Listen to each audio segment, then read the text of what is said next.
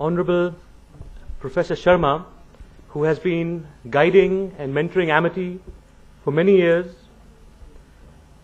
Professor Heinrichs, if I can say in German, Sie strahlen Positivität. Freut uns sehr, hier sein können. Uh, I'm saying he is uh, shining positivity, and it's a pleasure that he can be here today.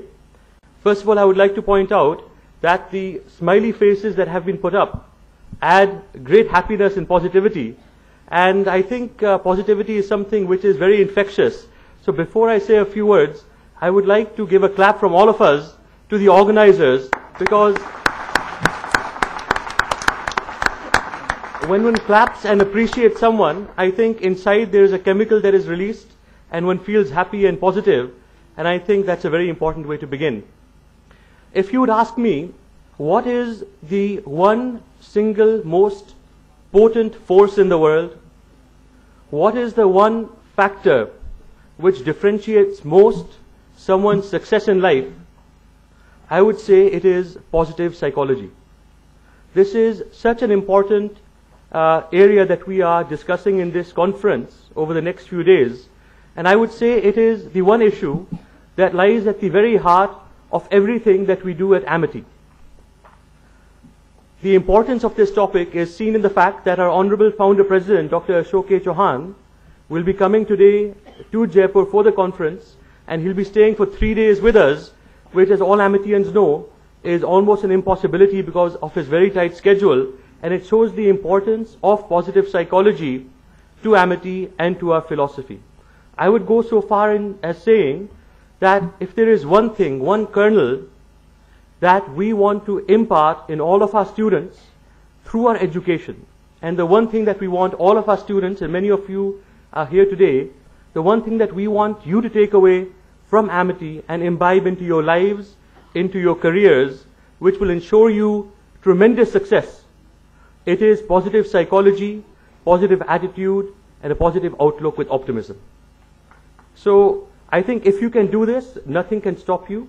And uh, I'm sure that your faculty and your teachers will be working very hard to impart what we are discussing here into each one of you. A few years ago, a very renowned management guru, maybe the most uh, renowned person in the area of management, uh, Tom Peters, was in Delhi with us, and he had come to give a talk on management principles to many top corporates that we had assembled in Delhi. Now, he was flying in with an airline and somehow they lost his bags. So, in the morning, before the afternoon session, he said to us, uh, Mr. Chauhan, I'm very sorry, my bags have not arrived. I don't have any suits to wear, so I will not be able to give the talk in the afternoon, so please cancel it. So we were worried because we thought that so many top corporates have flown in from all over India to hear Tom Peters, what will we do? So immediately our Amity team got into action and within three hours they took his measurement. They had not only suits, two suits, but also shirts, socks and shoes ready for him. And half an hour before he had to go on stage, they did the fitting and five minutes before he went onto stage in a new suit, he said one word, one line, and I'll never forget it. He said, Mr. Chauhan, I've never seen such positive psychology. And I was thinking of the story because it showed to me that in India, we have traits of flexibility, creativity, intuition, which form some crux of positive psychology, which we can teach to the world all across the world. You know, and uh, this was one episode which really brought out to me that in India we are used to doing things which in other, many other countries, uh, Mr. Hendricks, you will agree with me, would be unheard of. You know, so this is one aspect that we have to appreciate. On the other hand, in some areas we still have a lot to learn, and I hope from this conference we will be able to explore further avenues and possibilities how to implement positive psychology further. When I read the newspapers these days and I read the media talking about the Commonwealth Games, sometimes I'm very dismayed because it is an event which for our country holds so much importance. It should be the pride of our country, but there's a lot of negativity, a lot of question around what is happening in the Commonwealth Games. So sometimes I feel if we have a positive attitude, we take away the problems, we solve them, but if we have a positive attitude into that we have to come together, then we will be able to succeed. That would be a very good thing. And if our senior scientists here in the deliberations can find out a way that we can change the genes of our mind to get over things like hatred, jealousy, envy, and instill in us positivity so that we can do teamwork and work together, I think that will go a long way in bringing us to our common goal of bringing India to a pedestal of becoming a superpower in the years to come. A few uh, years ago also, we were at a family dinner and my younger brother, Abhay, he was having a big migraine and you know he was uh, feeling nauseous, could not sit at the dinner table uh, and he wanted to go home. Dr. Chauhan, our founder president, uh, saw that he was feeling very uneasy and he would have left. And he started talking to him about basketball, which is his favorite sport. And they talked about basketball, how many points and how to score, what are the rules of the game. And after eight or ten minutes, we saw that Abhay was absolutely fine, migraine had vanished, vanished, and he was perfectly feeling fine. This was a very practical and easy example for me that positive psychology and thought process can heal in a very physical sense.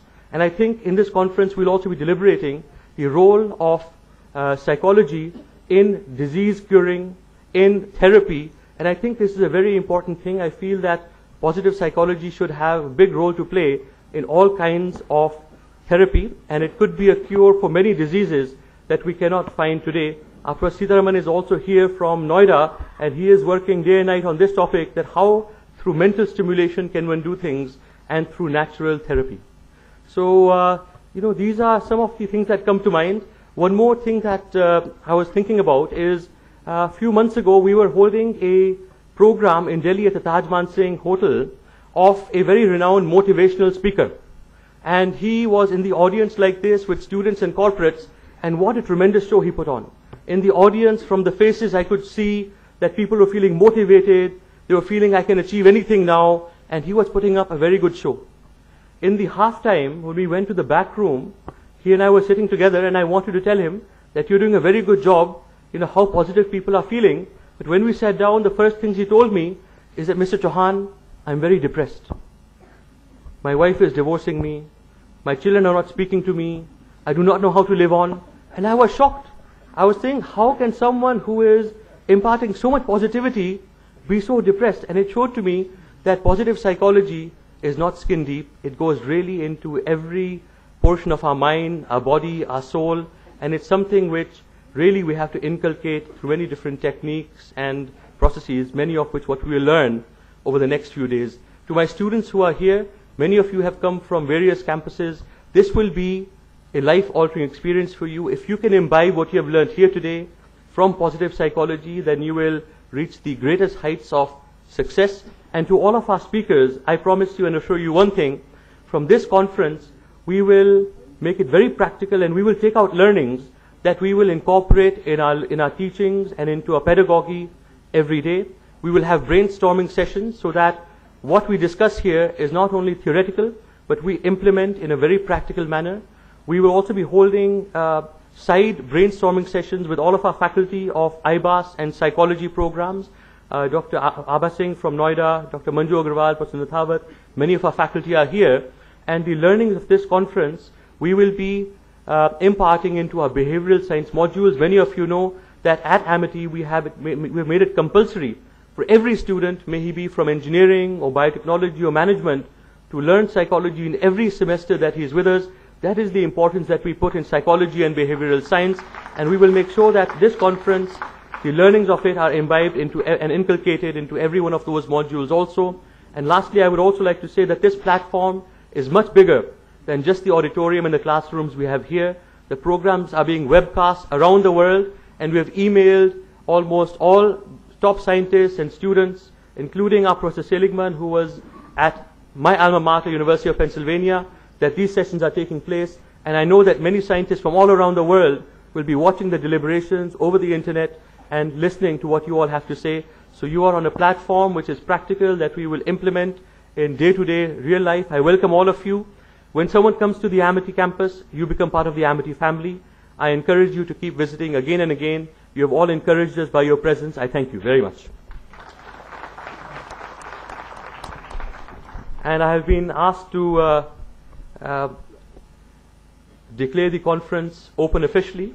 So I declare the first international conference on positive psychology, a new approach to mental health 2010 open.